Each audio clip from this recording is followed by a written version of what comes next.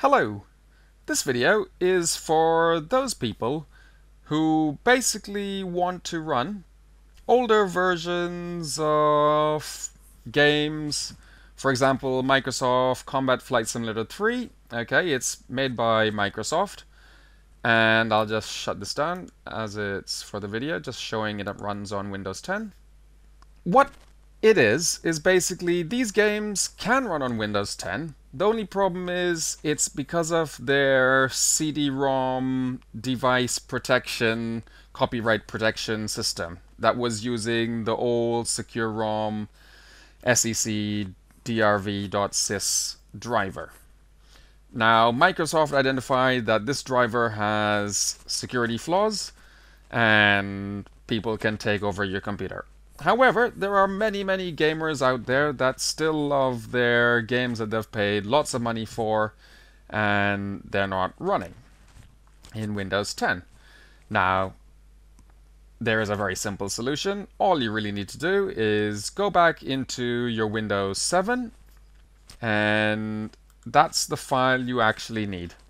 Okay, this is a legitimate file. It comes with Windows 7 itself all you need to do is just copy it from your Windows 7 folder, bring it into your Windows 10 computer, paste it into the same location, Windows System32 drivers, paste it in there. It's a genuine file.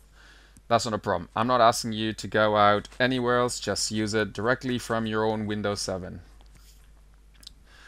So, now that you have that file, all you really need to do is and this is good. So you click on Start, Settings, then Recovery, and what you're going to do is go to Advanced Startup and Restart Now, Troubleshoot, Advanced Options, See More, Startup Settings, and then we're going to be using this Disable Driver Signature Enforcement. So Restart. Once you get this screen, you press the number 7 button on your keyboard. Once it restarts, make sure your DVD or CD is in the drive. And then all you need to do is just literally click on it and run it. And there your game starts. What I did forget to mention was that I did turn on compatibility for the program. Just right click on it, compatibility run as Windows 7, run this program as administrator. Now, every time you want to run the game, you would need to go through the settings, disable the driver enforcement. Please be advised that the reason why this thing is actually there is to protect you from this driver being hijacked by somebody else out there. Also, in case you have any other programs installed that have some drivers that are not reputable, etc., and they're not correctly digitally signed, they will not run. By you starting Windows with driver enforcement being disabled, potentially all those drivers could also run.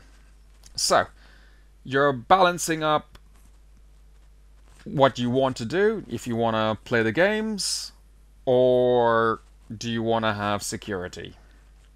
There are obviously other alternatives, dual boot, run Windows 7 in a dual boot scenario, or in a virtual machine, etc., etc.